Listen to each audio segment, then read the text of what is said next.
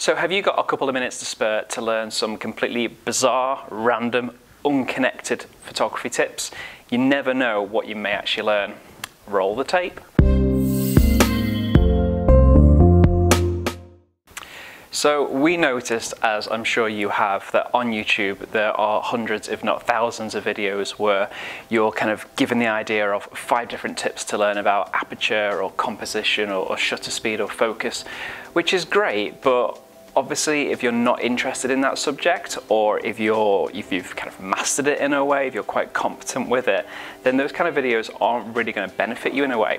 So we thought as a slightly different approach we'd actually create a video that's a little bit more random offering you different tips. It's pretty much a bit of a roulette as to whether you actually would benefit from it but it's fun to play along at least anyway so these tips, they're not just gimmicks in any sense, they are actually practical and useful ideas that we as iPhotography tutors actually use quite a lot in our own workflow when we're kind of taking images and especially even when we're making these videos as well. So stick around for the next couple of minutes and we'll go through some of these absolutely fantastic helpful photography tips. So tip one, it may sound really counterproductive, but we'd recommend to actually leave your camera on whenever you go out shooting. This dog's gonna end up in the video. That may sound obvious, but what we actually mean by it is actually leave it on even when you're not taking the picture. If you're just say walking around the countryside or walking around town or a city, just keep your camera on all times. Don't feel that you have to turn it off until you actually see a moment because the opportunities arise so quickly and they can disappear so quickly is that you actually may miss something by kind of grabbing your camera, turning it on, adjusting everything. It's just as easy to leave it on you actually probably won't lose as much battery power as you think. It may only be around about 5, 6, 7% at most that you leave that you lose uh, by leaving your camera on all that while. So tip number two is that we'd always recommend to shoot raw.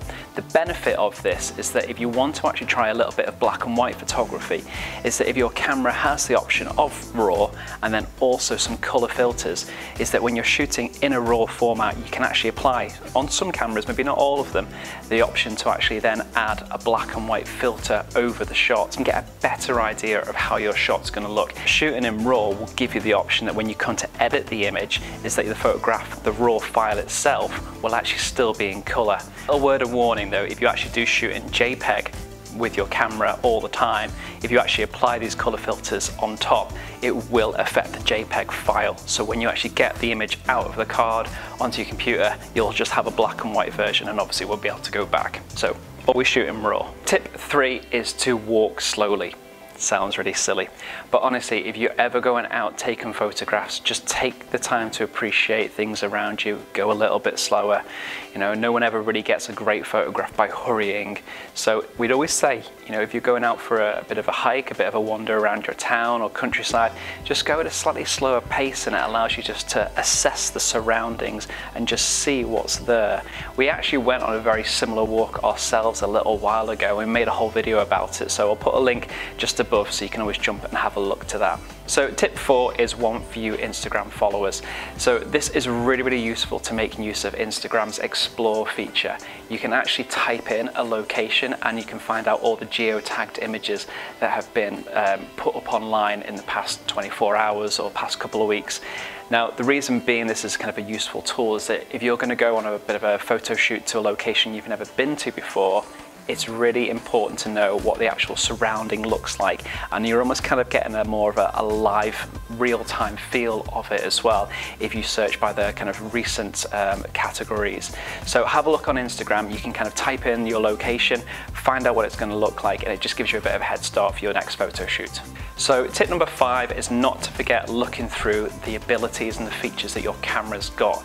Shooting on auto shooting on manual the brilliant options, you know, either way for getting to learn your camera or learn a bit more, but there may actually be some hidden little creative filters and creative features that can help you get a little bit more out of your camera. We did again a whole video about this which we'll put the link up to um, above us so you can have a look and see how our adventures went with it. But have a look through, you, you may find in your camera menu they may be called uh, creative filters or kind of fun effects or, or special pictures. There's lots of different variations which can just add a little bit more creativity to your photo shoot.